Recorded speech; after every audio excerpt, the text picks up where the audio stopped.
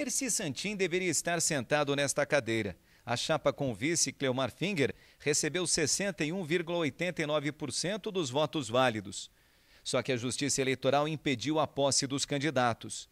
A decisão foi baseada em pedidos feitos por duas coligações adversárias, sob alegação de que Santin estaria inelegível em razão de uma condenação de crime de resistência qualificada em 2010 e por ter as contas julgadas irregulares pelo Tribunal de Contas de Santa Catarina quando foi prefeito entre 2004 e 2007.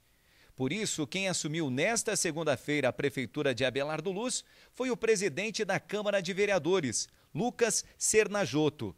Ao tomar posse, ele disse que vai pedir uma auditoria para saber as reais condições financeiras da administração. Ele comenta que, em tese, são mais de 3 milhões em dívidas. O salário de dezembro não foi pago, então nós teremos que pagar. os funcionários uh, que, que trabalhavam aqui em cargos comissionados, que eram contratados cargos de confiança não foram exonerados pelo prefeito. Isso vai ter que ser feito pela atual gestão. Apesar de não tomar posse como vice-prefeito de Abelardo Luz, Cleomar Finger já participa das primeiras ações da administração. Isso porque o prefeito interino é do mesmo partido dele, Inerci, no caso PMDB. Hoje pela manhã, o vice participou da primeira reunião com os servidores e garantiu que o plano de governo vai ser colocado em prática. O Lucas participou da elaboração do plano de governo, juntamente com todos os vereadores eleitos, juntamente com todos os vereadores suplentes.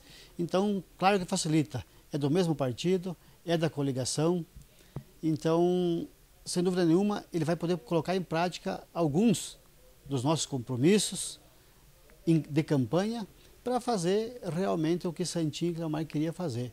A assessoria jurídica de Santim e Cleomar entrou com recurso extraordinário no Supremo Tribunal Federal para reverter a decisão do TSE e colocar no cargo os candidatos eleitos.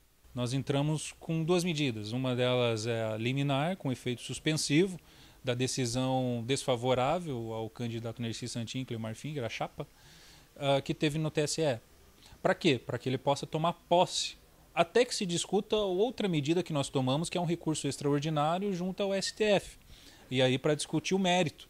O mérito é o quê? Aplica a lei nova ou aplica a lei antiga no caso do crime de resistência qualificada, da condenação do Nerci, a situação de inelegibilidade se já terminou ou permanece.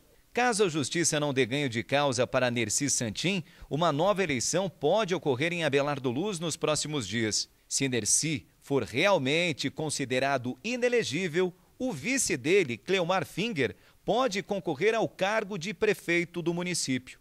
Isso porque não há nenhum processo contra ele na Justiça.